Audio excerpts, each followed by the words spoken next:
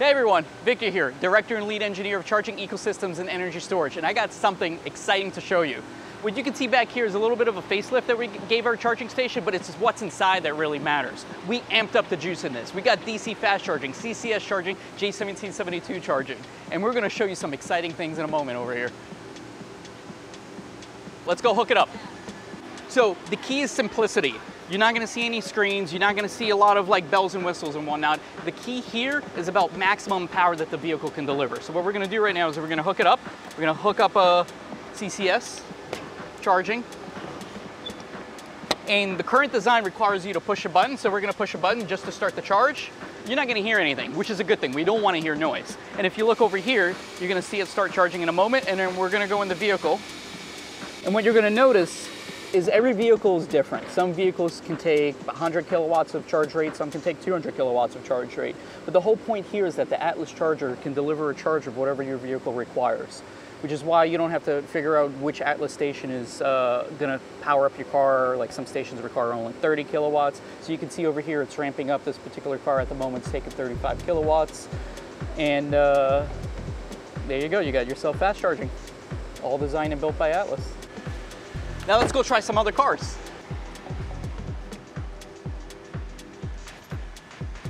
Check it out. Now, I gotta point out, this is not the final station design. This is our prototype design, and it gets us going off on everything in terms of how it's gonna uh, feel, the user experience, uh, the hardware that's required inside, all the safety mechanisms and whatnot. Let's check this out. Now, simplicity is the key. You know the standard ISO 15118, other people know it as plug and charge. Some vehicles have it, some people don't, some vehicles don't, and in our particular instance, uh, we do have a push button that we use, uh, not always required though. So check this out. Gonna unplug, open it up, now it's plugged in, and watch it start charging.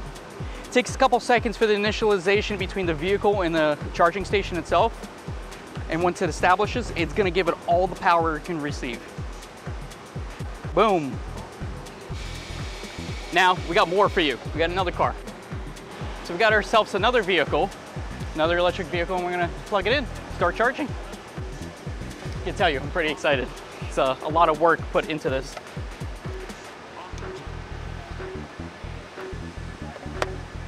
In this case, I'm gonna start the charge.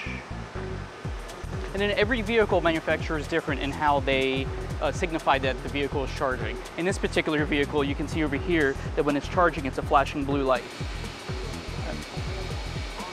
In other vehicles, you might find a flashing green light, uh, and every vehicle manufacturer is different, so you have to make sure that you understand uh, in what condition your vehicle is charging or there's a fault or you need to initiate a charge. All right, so I'm gonna leave this car over here charging because one of our workers here at Atlis needs to get home today. And what, what better way of charging the vehicle than fast charging using our own technology? It's incredible, I love it. Uh, It really means a lot to me. So in terms of the next updates on this, besides the aesthetics updates that you're gonna see some uh, LED lighting and we're gonna make it look a little bit prettier for the public, but it's what's inside that really matters. So we're focused heavily on the software side, uh, especially like the ISO 15118, that's the plug and charge. We need to uh, make sure that's compatible across all different vehicles. As we gave you an example today, we gave you uh, three vehicles that we charged. Uh, we're going to do a lot of safety enhancements within to ensure that uh, it's, it's reliable, that you're never going to have any issues, and a bunch of other software updates within. So uh, although the next video might not be as exciting, but it's, it's a major milestone for us to get this out on the road. Appreciate it. Thank you. Stay tuned for the next one.